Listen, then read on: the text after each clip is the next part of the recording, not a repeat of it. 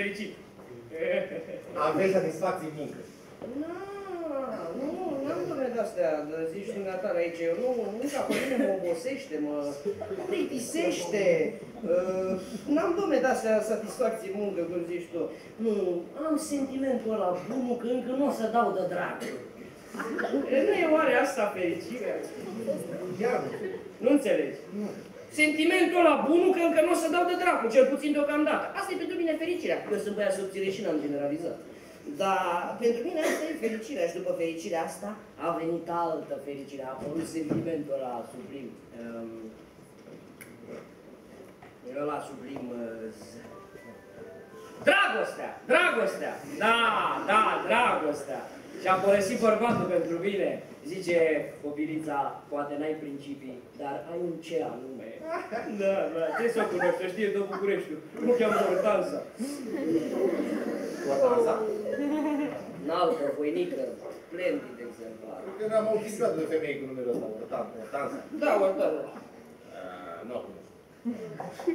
Nu. O cunoști, nu o cunoști, eu spun că o cheamă Hortanza. Și totuși nu sunt pe deplin fericit. Ai fost atent, ai văzut ce natural sunt pe schimb, odată fericit, odată nefericit? Da, da, da. Nu mi-e teamă de moarte, nu mi-e teamă de bătrânețe, bolile vin mai târziu. Controlul financiar. De asta nu scapă nici dracu. Așa e în firea omului. Da. Uite că nu, nu tuturor oamenilor le frică de controlul financiar. Ce vorbești, domnule, dar nu ne suntem toți născuți pe aceeași planetă, nu suntem toți egali, nu toți trăim, trăim o viață și suntem în permanență urmăriți de controlul financiar? Ce, sunt unii care scapă? Da, sunt oameni cinstiți. Cine sunt, domne, oamenii ăștia cinstiți? Unde trăiesc ei? Cu ce se hrănesc ei? Ce vor? Hai să vezi. Există niște oameni care trăiesc din munca lor. De munca lor. Dar de ce să trăiască de munca lor, să nu trăiască de multa... Poftiți? Am o problemă de când eram mic.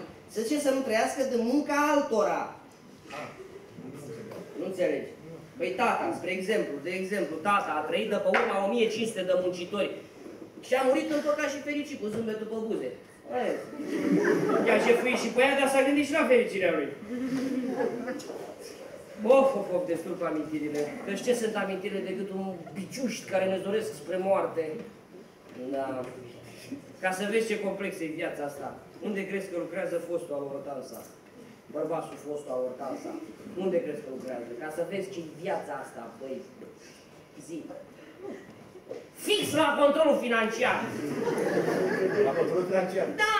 Și de ce asta e un mare noroc? Păi fă și ta legătura. Ce, nu aveți putere de asociație?